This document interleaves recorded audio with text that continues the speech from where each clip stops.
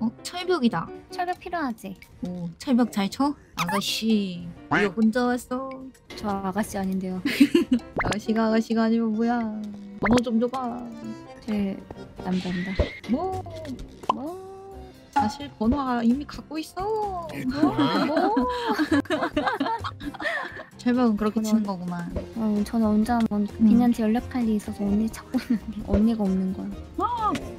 누가 고구마 장사 같은 걸 하고 있는 언니. 프사가 있더라고. 아. 그런 카톡 프사가 막 있는 거야. 언니한테. 어. 이게 맞나?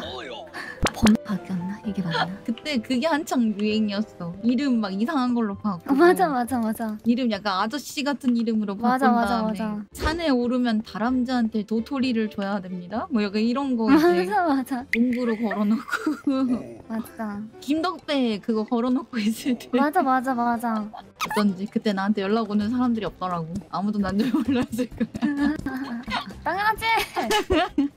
근데 뭐 인생에 대해서 생각해보는 것도 나쁘지 않은 것 같기는 해. 뭐 매번 생각해도 때에 따라 다르기도 하고 후회되기도 하고. 뭐 처음에는 엄청 그런 거 많이 들었거든. 아 내가 뭔가 인생을 헛산 게 아닌가, 잘못 산 게 아닐까 내가. 어 진짜 언니가? 음. 내가 되고 싶은 나를 정하니까 그제서야 좀 마음이 안정되더라고. 그래? 막 하루하루만 살. 살아가는 그런 게 아니라 언니는 그렇구나. 나는 약간 하루하루마다 오늘만큼은 진짜 뭐 이렇게 지내야겠다, 저렇게 지내야겠다 이런 게 있거든. 하루하루를 계획적으로 사는 게 좋지. 그냥 크게 목표를 정하고 가는 것도 참 괜찮다고 생각해. 내 짜이는 꿈이 있어? 아니 사실 그게 좀 고민이라면 고민이야. 음. 뭐 예를 들어 언니도 그렇고 나도 그렇고 방송하다 보면 누군가가 이제 조언을 구할 때가 있잖아. 음. 뭐 제가 꿈이 없어요 라던가 꿈이 있는데 음. 이루기가 어려워요. 뭐 상황이 여의치가 않아요. 뭐. 제가 하고 싶은 게 뭘까요? 뭐 이런 음. 고민 같은 경우인데 음. 몇? 아, 저, 뭐 스폰지업 잘못 설명해서. 아니 스폰을 잘못해가지고. 아, 근데 그때 나는 이제 그러거든. 뭐 나도 꿈은 없지만 음. 그냥 하루하루의 목표만 정하고 지낸다. 꿈이 꼭 뭐 있어야지만 성공한 인생이라고 보장되어 있는 것도 아니고 누가 정해놓은 것도 아니고 그냥 아. 그렇게 생각한다. 그랬거든. 오늘을 열심히 살아가는 스타일이구나. 음 맞아. 언니는 있어? 나는 높이가 높은 집에 살면서 와인잔을 굴리면서 아래를 내려다보는 게 꿈이야. 스카이뷰. 아, 야, 나 그 뭔지 알 것 같아. 그 느낌이 영앤 리치와야지 더 간지나는 그런 거 아닌가? 어 맞아 영앤 리치. 그래서 복권에 어. 당첨되기를 바라고 있어. 이런 사람들 복권 잘 안 사더라.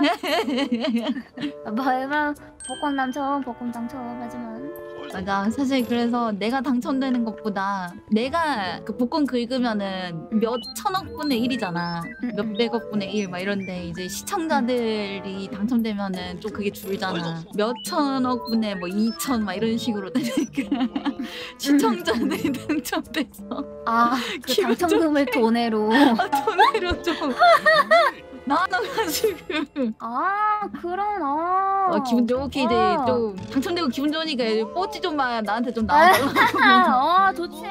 그게 내 꿈이야. 어, 트수들이 당첨돼서 나한테 큰 돈 해주는 거. 아, 납득이 되는 게 참. 아, 무슨 느낌인지 따와야겠잖아. 아 맞다. 네. 짜이 그 응. 어젠가 엊그젠가 뭔가 포트나이트 하는데 거기 뭐 방탄이 공연하더라고.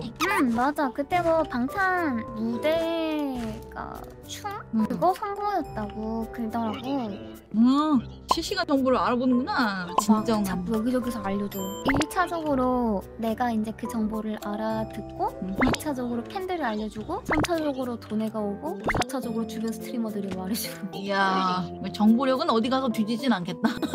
음, 음. 끄덕끄덕 방탄 파기 전에는 뭐 판 그룹 같은 거 있어? 아니다에서 방탄이 처음이야 그래서 되게 신기해 나는 이제 콘서트를 갔다 왔다가 입덕하게 된 계기여서 음, 콘서트라. 그 연예인의 압도적인 그거에 빠져버린 거구만. 어, 무대를 확실히 진짜 잘하긴 하더라고. 직접 콘서트 무대를 보니까 그 현장감부터 시작해서 좀 달랐던 것 같아 느낌이. 나 연예인에 빠져본 적이 없어가지고 캐릭터에 빠져본 적이 있어서 쌀떡이라 음, 아하. 아, 저 유튜브 봤습니다. 예. 부끄러워 봤습니다. 흑발의 그분.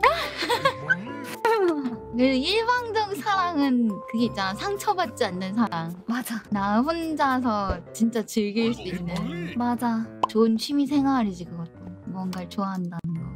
맞습니다. 전 진짜입니다. 여러분들의 상상 그 이상일 거예요. 아, 그리고 방송에서 그게 좀 많이 티는 안 내잖아요. 에, 일코를 얼마나 열심히 하는데 나도 방송에서는 티 안 낸다고 안 냈는데 음, 아 그게 뭔가 있나 봐. 그 평상시에는 티를 안 내다가 이제 내가 그런 비슷한 이야기가 나와가지고 음, 입을 이제 떼게 됐을 때 그 텐션이 다르대. 좋아하는 건 숨을 피할 수가 없는 이런. 언니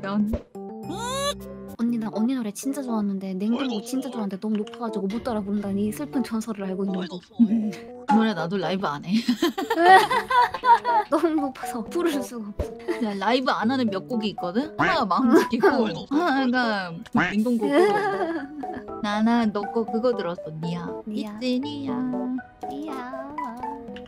짜이는 강아지랑 고양이랑 같이 키우잖아. 응. 뭐 그런 거 없어? 강아지랑 고양이랑 부딪힌다든지 귀여운 상황이 막 많이 연출이 된다든지 왜 강아지랑 고양이랑 느낌이 완전 다르다잖아. 가끔 귀여운 상황이 연출될 때가 있지. 근데 애들이 셋인데 셋 다 서로가 사이가 안 좋아서.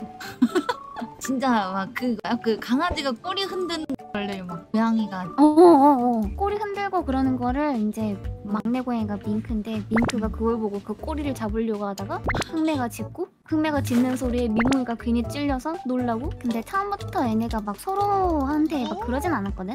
근데 이제 밍크가 오고 나서 밍크 성격이 되게 개고쟁이라고 했잖아 아뭐 내고 여기에도 장난치고 응 밍, 미몽이 꼬리에도 장난치고 흑매 음. 꼬리에도 장난치고 막 그러다 보니까 음. 애들이 다 밍크를 안 좋아해. 그래가지고 이제 그것 때문에 이제 서로 으르렁거리고 그러 긴 하는데 아, 그러기 전까지는 미몽이랑 흑매는 이제 서로의 약간 룰이 있었지. 흑매는 바닥에 있다면 미몽이는 이제 윗선에서 돌아다니면서 나는 내 구역에서 알아서 있겠다. 흑매도 되게 평화로웠거든. 다행히 뭐 물거나 그러지는 않는데 강아지가 워낙에 겁이 많은 애여가지고 잘 짖어 하지 말라고. 하지 마! 이런, 이런 느낌인데. 소리가 우렁차서. 정말 가끔 짖으면 놀라지. 맞아. 난 너무 익숙하지만 방송에서 이제 미안하지 사람들한테 나는 괜찮아. 동매는 커요우니까. 오 다행이네